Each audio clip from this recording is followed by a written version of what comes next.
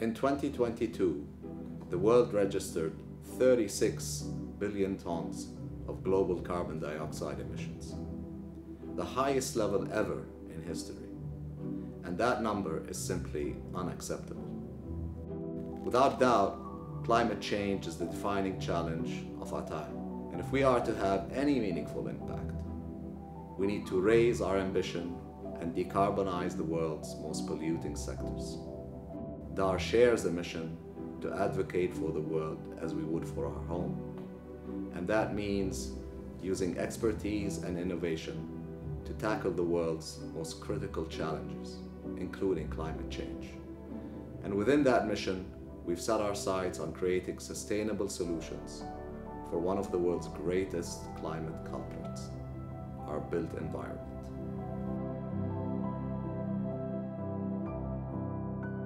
Up to 75% of global carbon emissions can be directly linked to the built environment.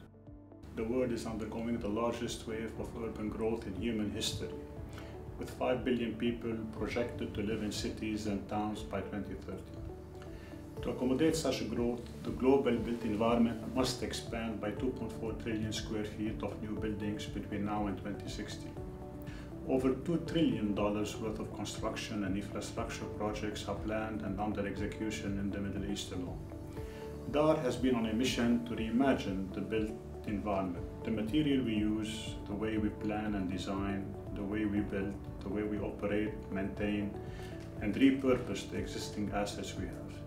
And we have found that there are solutions for every stage of that life cycle. And if these solutions are implemented, we can create a more sustainable built environment. Perhaps rather uniquely at DAR, we are entrusted with some of the largest urban development projects in the world, from entire new cities to um, urban extensions. This provides us with a platform to integrate sustainability best practice at a macro and to a micro level, and from ideation all the way to implementation.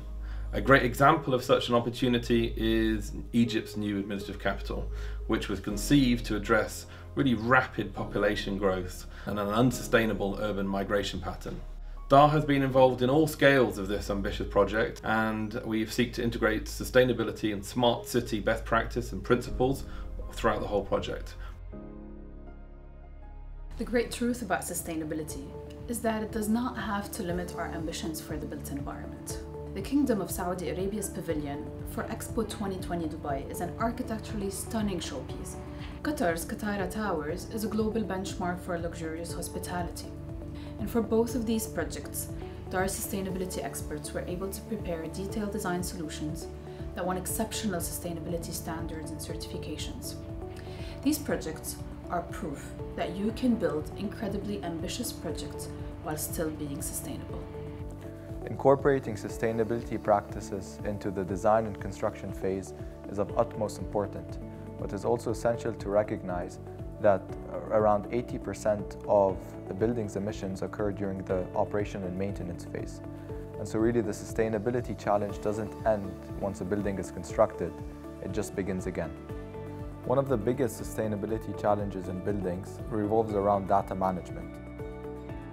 And so we've developed Para, which is a building portfolio diagnostics platform that utilizes advanced analytics and machine learning to really synthesize that data into insights that operators can then use to create a complete picture of what your emissions look like.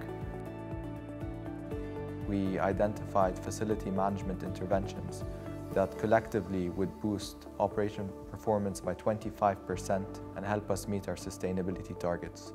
PARA is now a key element of DAR's strategy to reach net zero operations by 2030, and our team is working with clients and partners across the world, using PARA to optimize operation and maintenance processes as we seek to reimagine the built environment in a world of net zero. The great challenge with sustainability and the fight against climate change is that the issues differ from one country to another, and there is no one-size-fits-all solution. That's why DAR believes that even the best planners, engineers, designers, and experts need the insight and perspective of people who are embedded within the communities we are serving. As DAR's frontline staff, we are using our deep rooted presence in the local communities as well as our familiarity with governmental and non governmental stakeholders in each country to make sure that our design team do understand the challenges and the opportunities in each local context and to ensure that solutions we are providing are actually best suited for the people they are supporting. We live in one of the most transformational times in, in human history as architects and planners, it's critical to shape change and are not being shaped by it. We must constantly push boundaries and constantly innovate, which is core to our practice at DAR. DAR was one of the MENA region's earliest advocates for sustainability in the built environment. We have supported clients in delivering some of the region's first LEED certified projects. We had designed and constructed our own LEED Gold headquarters in Egypt's Smart Village. More recently, we partnered with the World Green Building Council and signed the Net Zero Carbon Buildings Commitment. We're committing to leading by example, making sure that our own buildings and assets are operating sustainably and reaching net zero by 2030. That's why the headquarters of our global collaborative of companies was designed to match the exceptional standards of sustainability 150 Holborn earned LEED Platinum certification, as well as BREEAM Design stage rating of Outstanding, which is currently achieved by fewer than 1% of new buildings.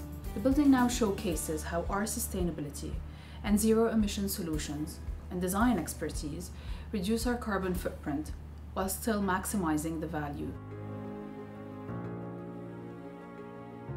Communication, storytelling, and community building are all essential in driving progress towards a net zero built environment. We have to inspire clients and stakeholders with a clear vision for more sustainable buildings and infrastructure.